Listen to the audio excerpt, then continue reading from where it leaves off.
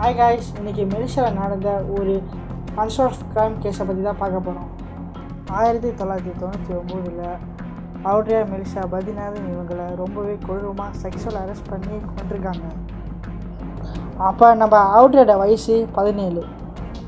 ஆயிரத்தி தொள்ளாயிரத்தி தொண்ணூற்றி ஒம்போதில் நம்ம அவுட்ரியா கேர்ள்ஸ் மெத்தடிஸ்ட் ஸ்கூலில் எஸ்பிஎம் படிக்கிறாங்க. அந்த ஸ்கூலில் நம்ம அவுட்ரியா ஒரு குட் எக்ஸாம்பிள் ஸ்டூடெண்ட் அது மட்டும் இல்லாமல் அவங்க ஒரு லைப்ரரியன் ஆவுட்ரியா ஒரு சிங்கிள் பேரண்ட் சைல்டு அவங்களுக்கு அம்மா மட்டும் தான் அப்பா கிடையாது. ஆவுட்ரியாவோட அம்மா பேர் மார்க்ரேட் ஃப்ரென்சிஸ் அவங்க ஒரு கிராஃபிக் டிசைனர் ஆவுட்ரியாவும் அவங்க அம்மாவும் பூச்சவங்களும் தான் தங்கியிருக்காங்க. நீங்கள் கேட்கலாம் ஏன் ஆவுட்ரியா வந்து வீட்டுக்கிட்டே ஸ்கூல் ஸ்கூல் மாற்றுறதுன்னு அவங்க அம்மா என்ன நினச்சாங்கன்னா இந்த ஒரு வருஷம் தானே பிள்ளை படிச்சுட்டு இருக்கு அதோட ஒரு வருஷம் காலேஜ் போகுது அதனால தான் அவங்க வந்து ஸ்கூல் வந்து மாற்று அவுட்ரியா எப்பவுமே பப்ளிக் பஸ்ஸில் தான் ஸ்கூலுக்கு போவாங்க. இவங்க பஸ்ஸிலேருந்து இறங்கி ஒரு சபுவே டென்னை வழியாக தான் அவங்க ஸ்கூலுக்கே போனோம். பதினேழு மே ஆயிரத்தி தொள்ளாயிரத்தி தொண்ணூற்றி ஒம்போதில் எப்பயுமே நம்ம அவுட்டில் ஸ்கூலுக்கு கிளம்புறாங்க. அவங்க டெய்லி ரொட்டீன் படி காலையில் அஞ்சரை மணிக்கு கிளம்பி ஸ்கூலுக்கு பஸ் எடுக்க போகிறாங்க அதுக்கப்புறம் பஸ்ஸுலேருந்து இறங்கி அவங்க சப்வே டென் வழியாக போகணும்னு சொன்னா இல்லையா? அங்கே வந்து அவங்களும் அவங்க ஃப்ரெண்டை போயிட்டுருக்காங்க அவங்க வந்து ஒரு ரெண்டு பாதை பிரியுது அதாவது அவங்க போகிற ஸ்கூல் பாதையோ ஒன்று அவங்க ஃப்ரெண்டு போகிற பாதையோ. இந்த நாள் அது வரைக்கும் ஒரு நோமோ டேவாக தான் இருந்துச்சு. அதுக்கப்புறம் தான் ஒரு பயங்கரமான ஒரு சம்பவம் நடக்குது. இங்கே மத்தியானம் எப்பயும் போல் ஆவட்ரி அம்மா வந்து வீட்டுக்கு கால் பண்ணுறாங்க எப்பயுமே கால் எடுக்கிற ஆவட்ரியா அன்றைக்கின்னு பார்த்து கால் எடுக்கவே இல்லை. அவங்க அம்மா திரும்ப திரும்ப ட்ரை பண்ணிகிட்டு இருக்காங்க. யாருமே ஆன்சர் பண்ணுறதே இல்லை. அதுக்கப்புறம் அவுட்ரி அம்மா அவங்க வேலையை முடிச்சு வீட்டில் வந்து பார்க்கும்போது அவுட்ரியா வீட்டில் காணும். அவுட்ரி அம்மா பதட்டமாகி ஸ்கூலுக்கு கால் பண்ணுறாங்க ஸ்கூல் ஸ்டாஃபும் அவுட்ரியா ஸ்கூலுக்கே வரலன்னு சொல்கிறாங்க அதுக்கப்புறம் ஆவுட்ரியா ஃப்ரெண்டுக்கிட்ட அவங்க அம்மா விசாரிக்கிறாங்க. யாருமே ஆவுட்ரியா பார்க்கல. கடைசியாக ஸ்கூல் போகிற பாதையில் உள்ளவங்ககிட்ட கேட்கும்போது காலையில் ஆவுட்ரியா ரோடு க்ராஸ் பண்ணதா பார்த்து தான் சொல்கிறாங்க மறுபடியும் அவுட்ரியாமல் தேட ஆரம்பிக்கிறாங்க.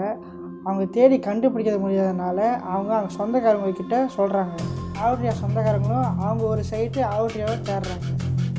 ரொம்ப நேரம் ஆகியும் எந்த தகவலும் கிடைக்காதனால ஆவுட்ரியா அம்மா போலீஸில் போட்டுறாங்க போலீஸ் ஸ்டேஷனில் ஸ்கூலுக்கு போன அவுட்ரியாவை காணோன்னு ரிப்போர்ட் கொடுக்குறாங்க. ரிப்போர்ட் பண்ண பிறகும் அவுட்ரியா அம்மா அவுட்ரியாவை தேட ஆரம்பிக்கிறாங்க. மறுநாள் காலையில் ஆட்ரியா அம்மாவுக்கு ஒரு கால் வருது. அது யாருன்னா ஆட்ரியா ஸ்கூலோட ஹெச்எம் காலில் ஹெச்எம் சொல்கிறாங்க ஆட்ரியாவோட பாடி கிடச்சிருக்கு. நீங்கள் வந்து பாருங்கள் ஆட்ரியா அம்மாவுக்கு ஒரு பெரிய அதிர்ச்சி. அவங்களால எதுவும் பேச முடியல. நேராக ஹெச்எம் சொன்ன இதெல்லாம் கினாபலுக்கல் டிஎன்பி கிட்டே போகிறாங்க அவருடைய பாடியை முதல்ல பார்த்தது அலாம் ஃப்ளோராவில் வேலை செய்கிற ஒரு ஆள்.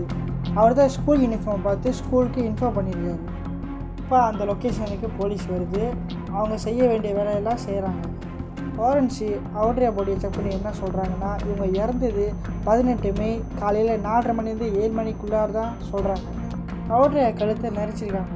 அதனால் ஆக்சிஜன் பற்றாமல் அவங்க இறந்ததா ஃபாரன்சிஸாக சொல்கிறாங்க அது மட்டும் இல்லாமல் அவங்கள செக்ஷுவல் ஹரஸ்மெண்ட் பண்ணியிருக்காங்க அடித்து காயப்படுத்திருக்காங்க கல்லால் தலையில் பலமாக தாக்கியிருக்காங்க. அவருடைய காரியங்கள்லாம் செஞ்சு முடிச்சுட்டு அவங்க அம்மா இந்த கேஸுக்கு நல்ல முடிவு வரணும்னு போராடுறாங்க. சும்மா ஓடுது ரெண்டாயிரத்தி அஞ்சு வருது ரெண்டாயிரத்தி பதினாலு வருது. ஆனால் அவங்க அம்மா அதுக்கு போராடிக்கிட்டு தான் இருக்காங்க. ஆனால் இந்த கேஸுக்கு ஒரு இம்ப்ரூவாக வரல. கிட்டத்தட்ட நாற்பத்தி மூணு சஸ்பெக்டை இந்த கேஸில் அரெஸ்ட் பண்ணுறாங்க எல்லாமே டிஎன்ஏ டெஸ்ட் எடுக்கும்போது எதுவுமே மேட்ச் ஆகலை. இப்போ ரெண்டாயிரத்தி இருபத்தி ஒன்று இப்போ வரைக்கும் இந்த கேஸ்க்கு ஒரு முடிவே கிடைக்கல. இது செஞ்சவங்க வெளியே சுற்றிக்கிட்டு தான் இருக்காங்க. இந்த கேஸோட ஆரம்பத்தில் கிரீஸ்னு ஒரு சஸ்பெக்டை தேடிக்கிட்டு இருந்தாங்க. ஆனால் கடைசி வரைக்கும் அந்த சஸ்பெக்டை பிடிக்கவே முடியல. அதுக்கப்புறம் போலீஸை கவர்மெண்ட்டும் சேர்ந்து கிரீஸோட ஃபேஸை பப்ளிஷ் பண்ண ஆரம்பித்தாங்க யார் இவரை கண்டுபிடிச்சாங்கன்னா இரு இருபதாயிரம் வெள்ளி தரேன்னு அனௌன்ஸ் பண்ணாங்க. அப்போவும் அந்த கிரீஸ் கிடைக்கவே இல்லை. இந்த கேஸில் இன்னொரு மெயின் சஸ்பெக்ட் இருந்தார் அவரை அந்த கேஸ் ஆரம்பத்திலே பிடிச்சிட்டாங்க. ஆனால் அவரோட டிஎன்ஏ மேட்ச் ஆகலைன்னு அவரை ரிலீஸ் பண்ணுறாங்க ஆயிரத்தி தொள்ளாயிரத்தி தொண்ணூற்றி ஒம்பதுலேருந்து இந்த ரெண்டாயிரத்தி இருபத்தொன்று வரைக்கும் இந்த கேஸ்க்கு ஒரு முடிவே இல்லை. இந்த மாதிரி மெலிஷாவில் மெலிஷாவில் இருக்கிற அன்சால்வ் கிரைம் கேஸில் இதுவும் ஒன்று இந்த வீடியோ உங்களுக்கு பிடிச்சிருக்குன்னு நான் நம்புகிறேன் எனக்கு லைக் பண்ணுங்கள் ஷேர் பண்ணுங்கள் சப்ஸ்கிரைப் பண்ணுங்கள் உங்கள் சப்போர்ட் எனக்கு முக்கியம். நன்றி.